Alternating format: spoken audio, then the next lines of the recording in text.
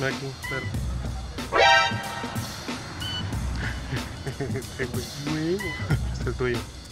Es. Hey, ¿qué onda burros molones? ¿Cómo están? Yo soy Leonel, bienvenidos a mi canal Así empezamos este video, si no se entendió muy bien, pues lo regalé a Gucci Esta intro no hace mucho sentido Porque solo les voy a explicar la técnica a pluma pero pues bueno, quería dar la cara, quería preguntarles cómo estaban Y ya dicho que solamente voy a explicar la técnica de pluma Pues vamos a lo que cruje chencha, corre video Bueno, bueno, bueno, 1, 2, 3, probando. ¿Se escucha todo bien? Burros, estoy un poquito malito, entonces me van a tener que disculpar la voz y uno que otro gallito. Por favor, perdón. Y empecemos con el vídeo. Ok, aquí más que nada de narrar el video voy a explicar la técnica porque es una técnica un poquito no difícil, sino laboriosa, porque tienes que tener mucho cuidado, no es como pasar cualquier color.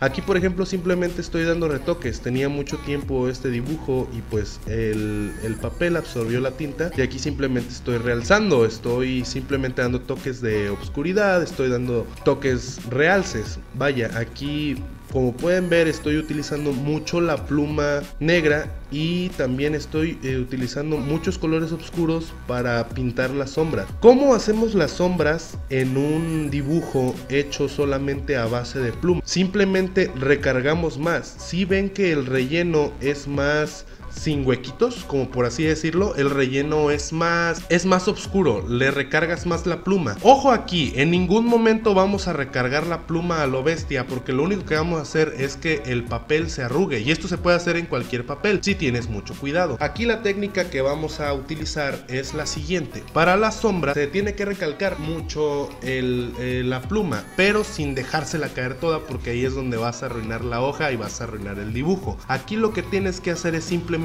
sombras, recargar mucho y en los detalles como en el pecho, igual en el brillo de la cabeza, meter otro color ya sea anaranjado o darle toques de más suavidad. Aquí por ejemplo en la pierna estoy haciendo los toques más oscuros y luego como pueden ver le paso los toques más suaves. ¿Cómo hago eso? Dejando entre huecos, pasándole líneas, línea, línea, línea y dejando entre hueco. Aquí también se puede utilizar la técnica del desvanecido con el dedo. Hay un punto donde le puedes hacer y no se mancha. Es es un punto, en cuanto terminas de, hacerlo, te esperas, no sé, que un minutito y ya después pasas el dedo para que dé ese efecto. Ven como hago, paso el dedo en muchas ocasiones y también en tonos de brillo aquí estoy metiendo, por ejemplo, un color anaranjado y en algunos lugares, así, así varía en todo. En, en los colores oscuros simplemente metes fuerza y en los colores más brillosos metes menos fuerza, difuminas y así pues vendría quedando el dibujo en los detalles más oscuros simplemente pasé un poquito más la pluma para que se vea más grisáceo y en estos en, otros otros detalles estoy dejando más blanco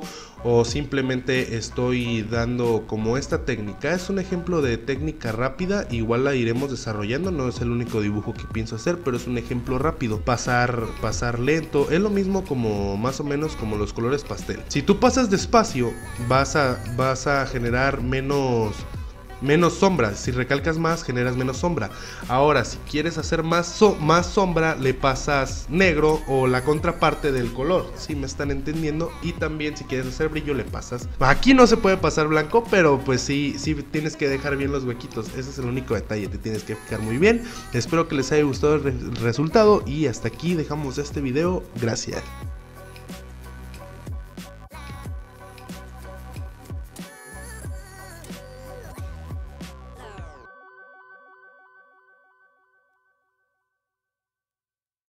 Y eso fue todo, la técnica pluma es de mucha paciencia, es de mucha suavidad, en toques más oscuros pues le va a dar otro color de tinta más oscuro o puedes recargar más color. También se puede difuminar un poco, solo espera que la tinta esté entre seca y fresca, o sea ni fresca porque vas a hacer una embarradera, ni seca porque pues ya no haces el efecto. Y tú dirás, ¿cuál es el punto en el que ya se empieza a secar? Pues no es mucho, no creo que sea más de un minuto. Pero espero que les haya gustado mucho esta técnica, yo es que les prometí canción, pero sí un poco malito la garganta. Y pues sin nada más que decir, se viene otro dibujo muy chido con colores pastel, o que estén atentos. Y nosotros nos andaremos viendo hasta un próximo video, burros molones. Hasta la próxima, adiós.